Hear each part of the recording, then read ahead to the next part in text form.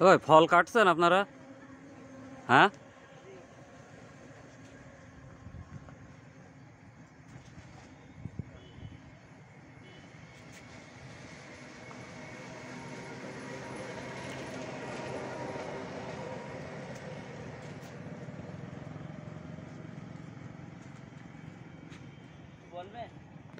আমি এই যে ভিডিও করার জন্য একটু দাঁড়ালাম।